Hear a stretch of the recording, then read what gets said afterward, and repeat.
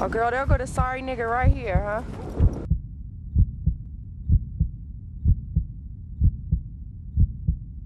And don't even try to lie now, because I don't even want to hear it no more.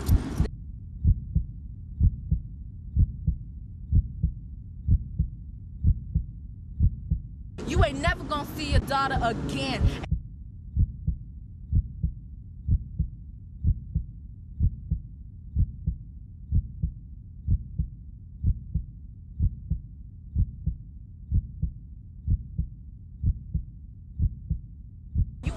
sorry ass mother.